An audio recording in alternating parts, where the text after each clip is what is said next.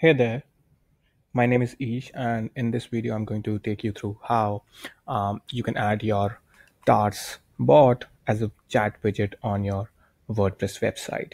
So, the first thing I'm going to do is I'm going to log in to one of my accounts on TARS. So, once I log in, I'll be able to see uh, all the bots that I've created using this particular account. So just for this purpose of this video, I'll go to this particular bot.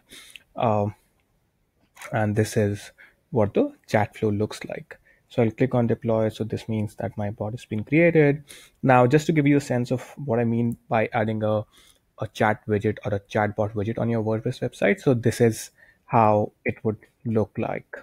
Uh, so I'm just giving you a, so this is what, you know, uh, a chatbot widget on your website would look like. A user would land on your website and basically the bot would start off right? So we are trying to do something similar for another WordPress website, and, and I'm going to tell you how you can do this. So once you've created the whole chat flow, you click on deploy, you you know you go to distribute section. So once you're here, you'll be able to see this the the bot widget code.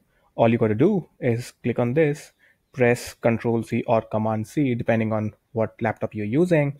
Uh, do a copy, go to your um, WordPress dashboard. So this is a website where I'm going to add uh, this chatbot widget.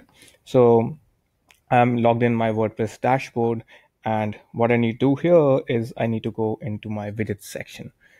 Once uh, I am in the widgets section, what I need to do is I'll just open any of the footer columns. So there are like four footer columns here. You can just select any of these four footer columns and then I'll be picking this text widget, which is basically a text come HTML widget, I'll go here and I'll just